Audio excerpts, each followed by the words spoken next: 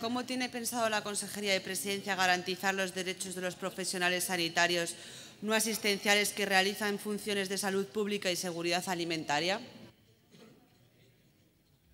Para contestar,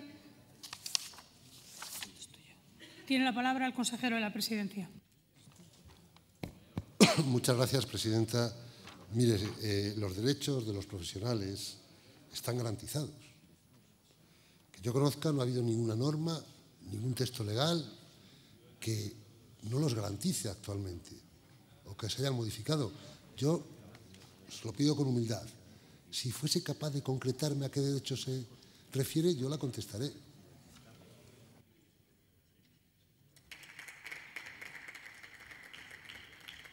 Para un turno de réplica, la señora del Barrio Jiménez.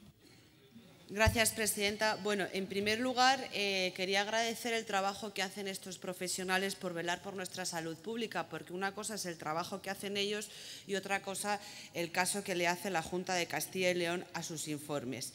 Cuando usted me dice que le especifique, mire, yo no le tengo que especificar, el procurador del común ya se lo ha especificado y ahora hablaremos del procurador del común.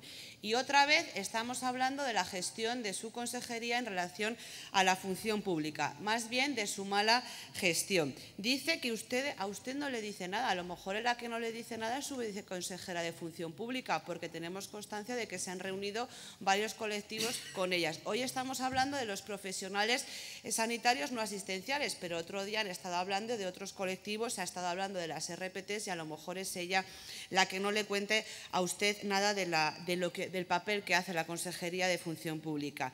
Y no se lo digo yo, que luego dice que si yo soy la que más sé de función pública. Se lo dice el procurador del común que su consejería está vulnerando los derechos del personal sanitario no asistencial. Y le leo literal la sentencia del procurador, el papel del procurador del común. Como usted tendrá en su despacho una montaña de resoluciones del procurador del común y del comisionado de transparencia, pues a lo mejor esta en concreto no la ha leído, pero ya se la leo yo.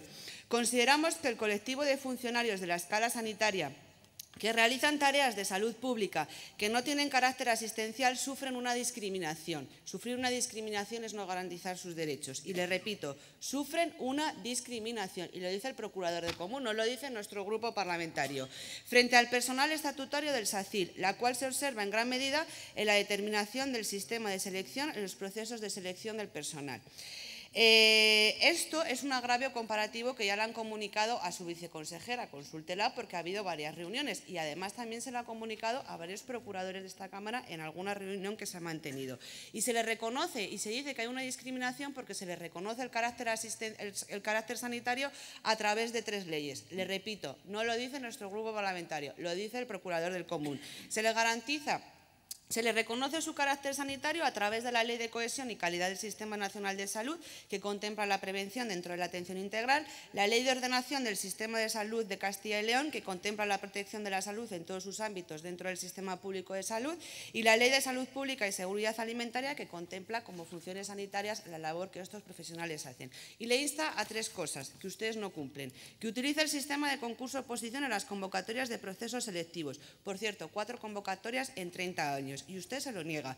Que ustedes acometan las actuaciones oportunas para reconocer a estos profesionales dentro del cuerpo facultativo de la escala sanitaria y usted se lo niega. Y que garantice la formación continuada y usted se lo está negando todo el rato. Simplemente, si quiere escuchar, aquí tiene un grupo de profesionales, si quiere se reúne con ellos, que dice que a usted no le cuentan nunca nada, ningún problema en la, función pública, acabo ya presidenta, habla usted con ellos, le cuenta los problemas que tienen y solo le pido, por favor, que deje de hacer la gestión que está haciendo de la función pública porque es un desbarajuste total y absoluto. Muchas gracias. No pueden aplaudir, eh, por favor, las personas que están en el público no pueden hacer ninguna manifestación. Para un turno de dúplica tiene la palabra el consejero de la presidencia. Muchas gracias, presidenta. No me ha dicho qué derechos. Me ha leído un informe y conozco perfectamente. El primero que se reunió con los veterinarios interinos, interinos fui yo, no mi viceconsejera, no sé de qué habla. Usted es la que no se entera de nada. Pasa, la cuenta en una película, se la cree y lo suelta. Yo, el primero, yo, el mismo día que estaban encerrados. Si le han mentido, infórmese y si no, no haga estas preguntas. Mire, en esta legislatura todos los funcionarios.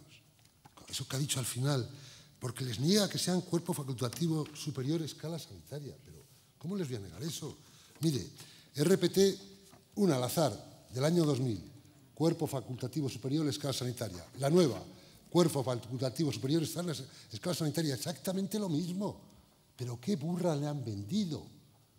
Una burra vieja la han vendido. Y usted se la ha comido. Enterita. Enterita, claro.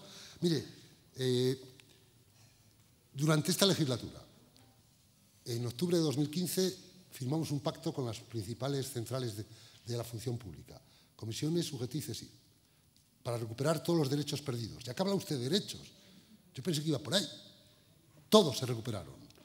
Se recuperó la paga extra de todos los funcionarios, de todos los empleados públicos, no funcionarios. En algunas comunidades todavía se deben pagas extras, supongo que lo sabe.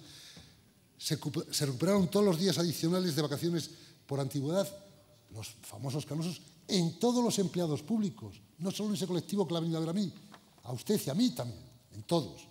Se recuperaron todos los días de asuntos particulares los moscosos de la Junta, para entendernos, en todos, y también en ellos, y eh, se recuperó el pago, la retribución del 100% del AITE, cuando tienen una incapacidad temporal transitoria.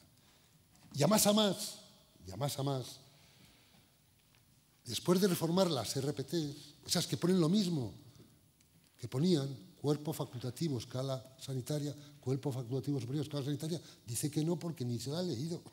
Pero las dos ponen lo mismo. La ha encontrado otra cosa y usted se la ha creído. A más a más, hemos sacado un, concurso de traslado abierto y permanente que afecta a 6.000, van a poder concursar 6.000 personas, 6.000 plazas.